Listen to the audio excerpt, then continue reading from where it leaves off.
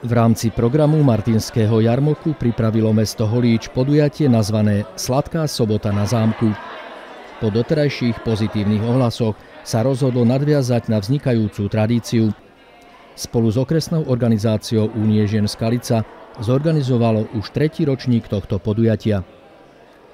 V priestoroch kultúrno-osvetového centra ponúkli svoje výrobky členky základných organizácií Únie žien a jednoty dôchodcov Skalického okresu. Výber bol opäť o čosi bohatší ako v Lani.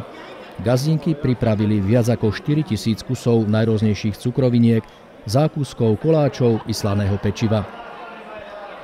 Túto aktivitu vo svojom príhovore ocenil aj primátor a svoj obdiv i uznanie všetkým zúčastneným členkám spoluorganizátorských združení vyjadrili v príhovoroch tiež prednostka okresného úradu Skalica i krajská predsednička Únie žien Sviatočný jarmočný stôl si mohli záujemcovia okrem ponúkaného sortimentu spestriť aj ďalšími gurmánskymi špecialitami, ktoré prišli ponúknuť niektorí domáci výrobcovia. K obohateniu podujatia prispeli výstavou ručných prác aj ľudovej tvorivosti členky Holíckej únie žien a ich priateľky z partnerského mestečka Hložany.